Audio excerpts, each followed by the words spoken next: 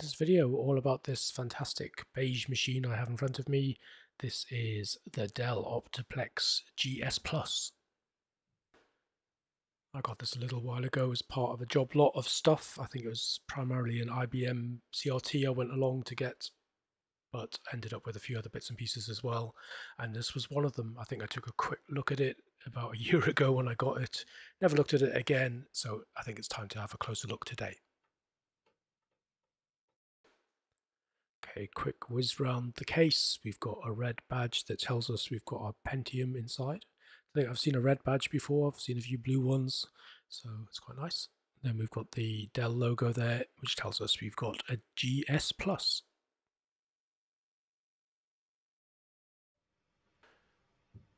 Over to the other side of the front, we've got a power button, we've got a reset button, and the floppy drive's kind of nicely embedded in this funky curved front edge. It's almost like a cresting wave kind of shape. And then we've got a CD-ROM drive as well. From the side you can see that kind of cresting wave profile on the front, quite funky for the time. And it reminds me of those American 50s cars, Studebakers I think they were called. You can see what I mean looking at this. Very sort of nose heavy kind of rolling over the top kind of wave thing going on. Moving on to the back, got our power supply little sticker to show when it was last electronically checked.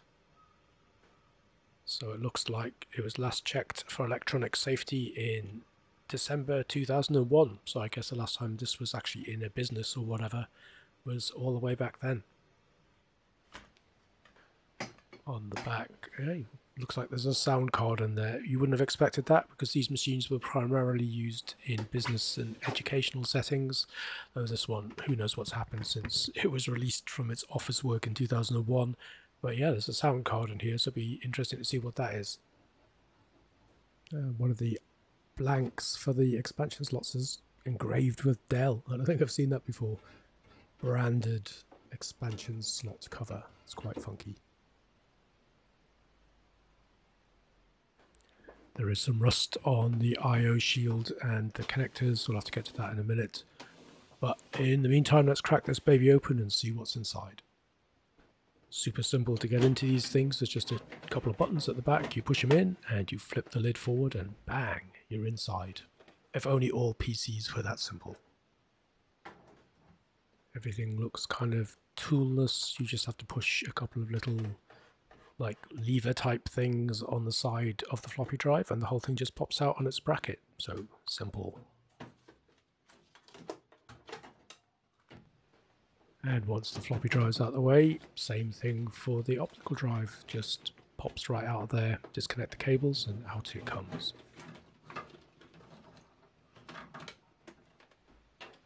Getting your expansion cards out is pretty cool on this thing. So they also sit in a block and there's a little lever on the side of the case and you lift it and the whole thing just pops out. So it's a riser card that's in a slot on the motherboard, of proprietary Dell stuff.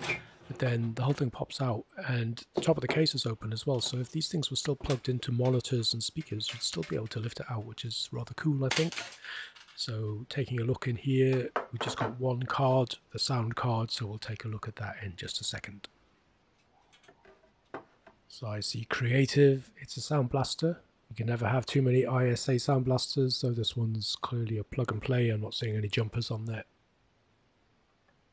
So we've got uh, CT2940, which is quite an interesting card because it was kind of on the cusp of where Creative Labs stopped using real OPL and started to roll the MIDI into their own chips as a cost-cutting exercise, also providing inferior MIDI sound at the same time. That's what this has. I think it was called CQM, the creative version. But the, the space for the OPL chip is on this card, and it would have gone here if it had one. Unfortunately, it doesn't. But still, it's another Sound Blaster 16, and you can never have too many of those. Back to taking the machine apart, and yeah, one screw and the hard drive comes out too, so very easy machine to work on. So it's a Western Digital Caviar 21200.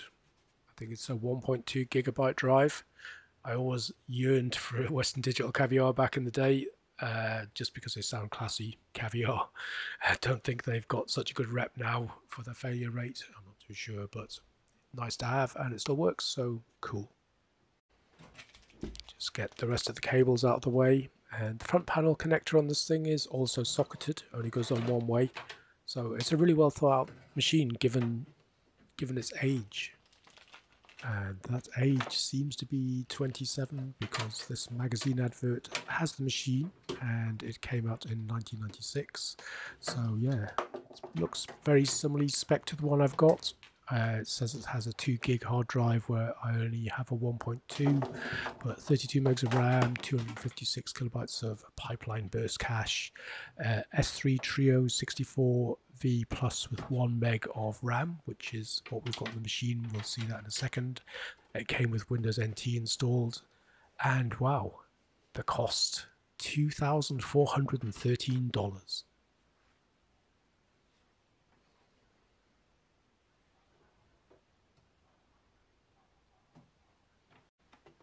The power supply is from Dell and it's 145 watts.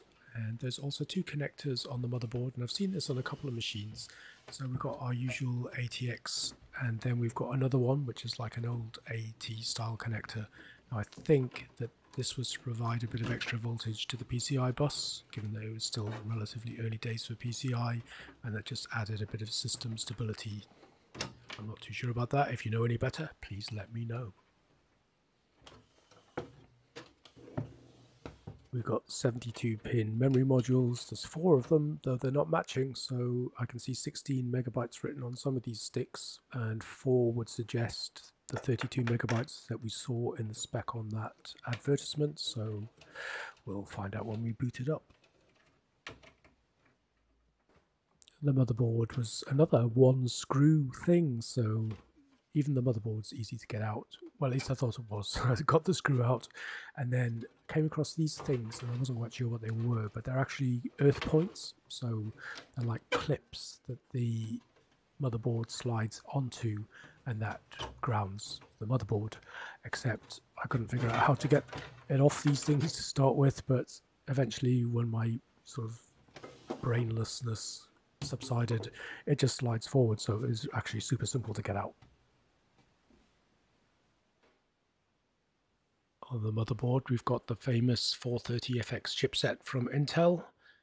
I think it was, was also called Triton, I think. And you can see the the S3 Trio video chip, and it's one megabyte of RAM directly above it. There's also a couple of sockets, so I guess you could add a second megabyte. Take the CPU off. There's a lot of thermal paste on here. I guess it's the original stuff. It's possible that the guy sold me it went in, put some new stuff on, but we'll clean it up and put some fresh on anyway.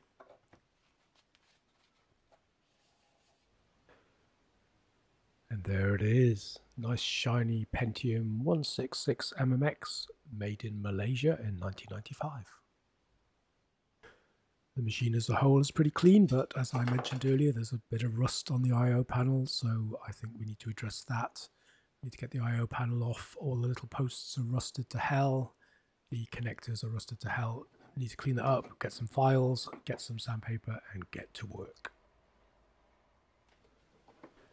So the little standoffs are all rusted to hell. Luckily, I mean, they, would be fiddly to try and clean up, but I have replacements for those. I think I've got enough, hopefully. So they just be discarded.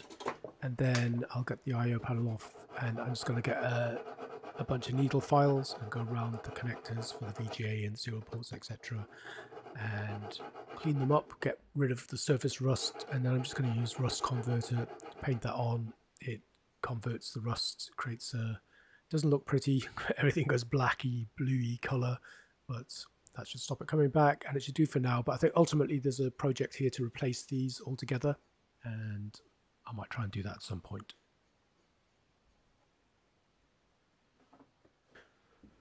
So that was all done and you can see how it's kind of gone bluey blacky on the bits that had rust on before but at least there's no rust there anymore which is the main thing. So just get some new standoffs, put the IO panel back on and we should be good to go.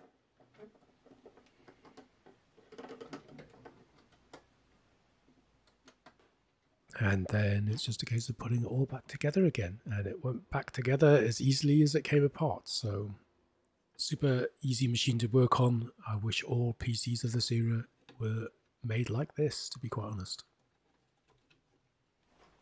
Components are all in and that super cool lid just flips on and clicks on. Just love it. Love absolutely love it. I'm not I'm not bleeding from cutting my hands on the edges of sharp cases or anything. It's just fabulous. So now that it's back together, give it a boot. Now I had booted this thing when I first got it, so I do know that it works. I didn't really pay much attention to it, so we'll take a closer look once we get going. And it has to be said, it's a smart looking thing and there may be people looking at that CRT to the left and going, you should be using that. But no, I'm going to play with my new favorite thing, which is the monitor that I made a video of last time. And I'm just going to be using this for a while just to see how it performs with different operating systems, DOS games, different resolutions, all that kind of thing. So yeah, let's see what it does.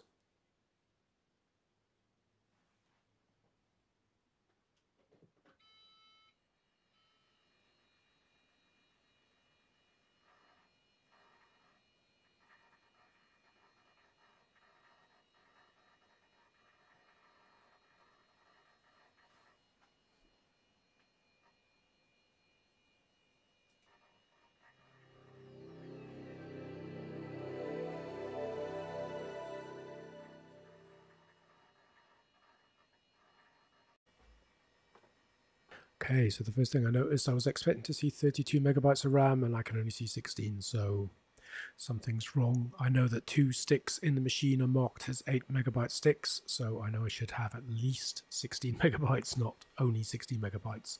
So we'll have to check that out in a minute. Quickly opening up the machine again. Yeah, there's this is all the RAM that actually came with the machine, but two of these are FPM and two are EDO. So the machine doesn't seem to like a mix. I dug around in my memory and I got two 16 meg sticks. So there should be two 16 megs, two 8s, and that should give 48 megabytes of RAM.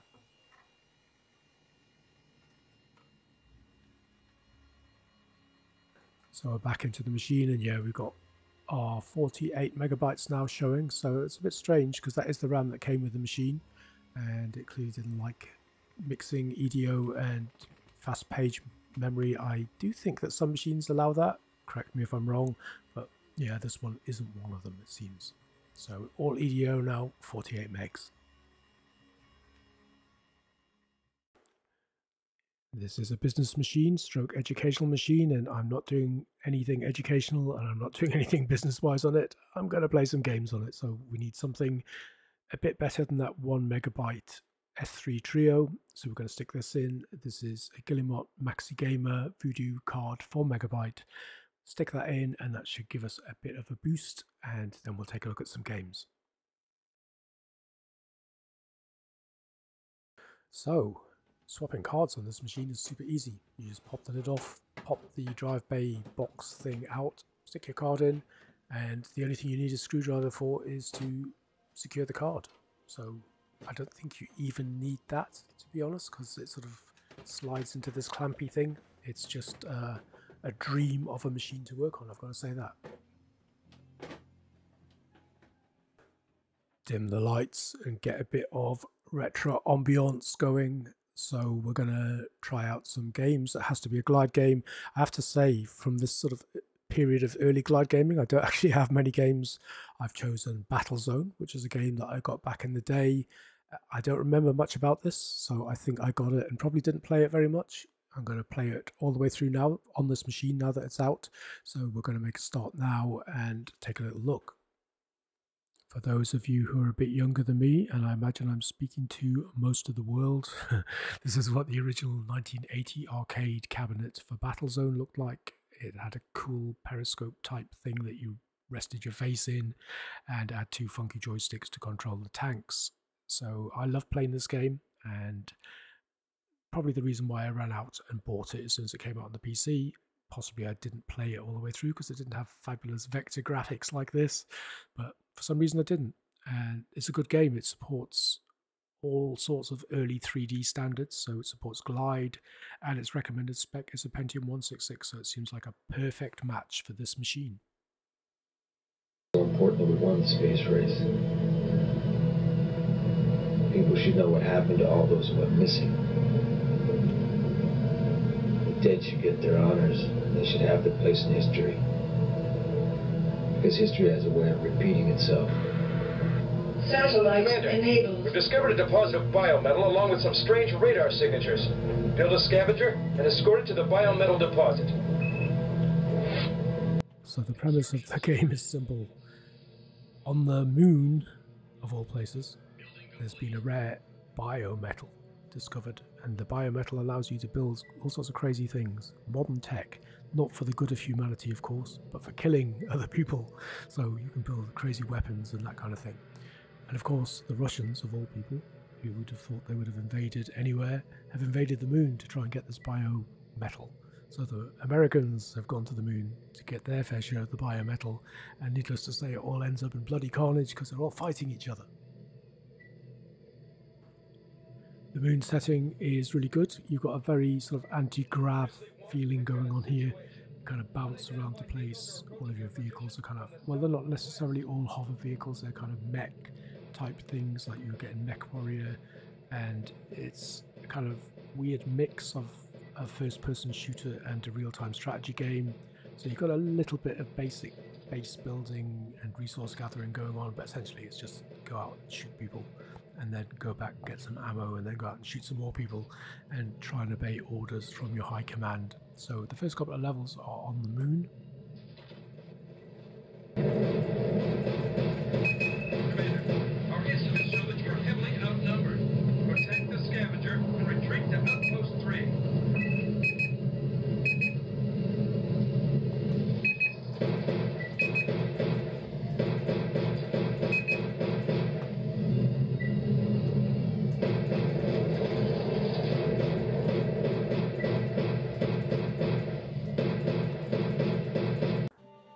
After the moon, the dirty Soviets go off to Mars and try and grab all of that biometal. So needless to say, we have to follow. I think you can play both sides in this game. I think there's also map editors and all sorts of stuff, but I'll take a closer look when the time comes. But I'm enjoying it so far, and I think I'm going to just continue playing it on this machine. They're going to keep this machine out because it's so easy to open and close. I think it would be a great machine just to, you know, try out different early 3D cards on and do early sort of glide gaming on. So yeah, it's a definite keeper. It's going to stay out. I'm not going to put it away in a cupboard. I keep saying that, but this one is so easy to open and close. I think this one's definitely the one that I'm going to use for my um, early glide, early 3D gaming. And I'm going to probably see if I can upgrade it to a 200 MMX perhaps. That's pretty much it. I hope you've enjoyed taking a look at this machine and taking a little look at the potential for some future Mars. gaming. And The Greek god yeah, that's pretty much it. Thank you very much if you've made it this far for watching. Couldn't have been I hope to see you on the next video. appropriate place for Thanks very much. uncovering the origins Goodbye. This material into such amazing weapons. When we left, in some ways we knew more, and in some ways we knew less. But we sure did further the legacy of Mars. Commander, this is the most important mission you will ever face. The fate of our country depends upon your success here. The CCA has beaten us to Mars, and after the fiasco on the moon, our forces are greatly weakened. We need you to secure and fortify a region on the surface so that we can establish a base. The CCA has detected our landing and has dispatched scouts to monitor our movements. They're building a base to the southeast and are beginning to fan out to other strategic locations. Identified three areas with sufficient geothermal activity for building a base. We need you to take and hold at least one area before the CCA controls the whole planet. We've dropped a fourth nav beacon outside the Soviet base. They look well fortified. I do not recommend launching a direct assault. Good luck, Commander. We're counting on you.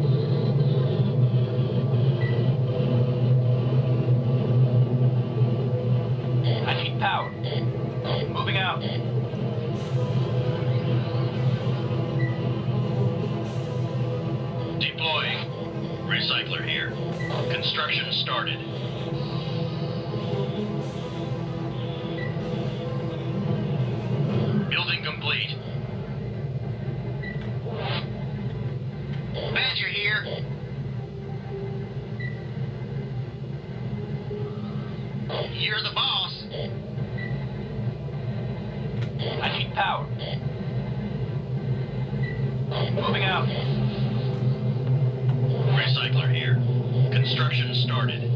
Unit factory online. Building complete. Commander, incoming CCA units. You're the boss. Recycler here. Construction started. Base under attack.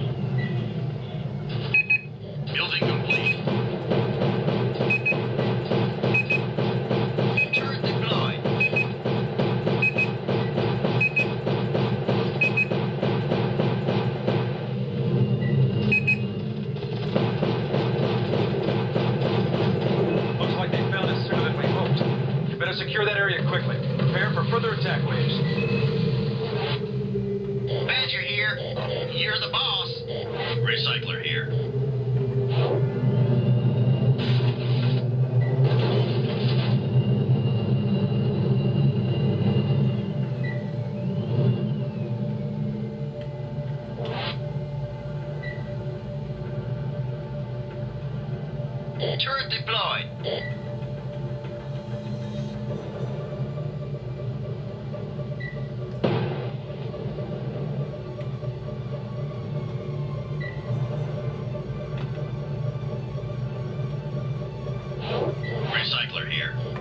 Construction started.